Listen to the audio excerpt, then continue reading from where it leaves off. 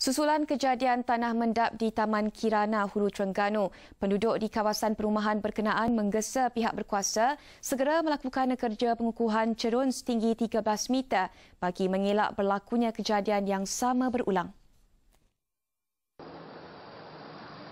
Penduduk mendakwa sejak dikesan pada Selasa, keadaan mendapan tanah itu semakin buruk.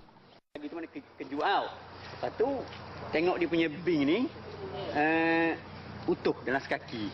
Lepas tu jadi kita deserah mana apa semua uh, jajiran semua keluar lah. So kata ada kenderaan semua keluar. Lepas tu dah masa kita ambil tengah ambil gambar-gambar tu, diutuh. Mana masa tiga jam ada bersampai rapat sana tu. Saya rasa kena kena biting dia dia nak buat tanah pun kena biting kok.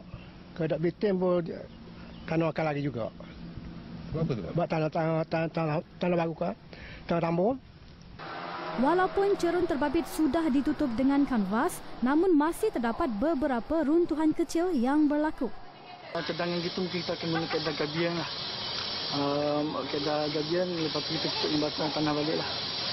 Uh, untuk jangka masa panjang ni kita akan uh, bincang dengan jentera lah. Untuk memastikan keadaan yang lebih selamat lah. Macam ini. Berikutan berlakunya pergerakan tanah, Jabatan Bomber dan Penyelamat Hulu Terengganu mengarahkan penduduk berpindah ke kawasan yang lebih selamat.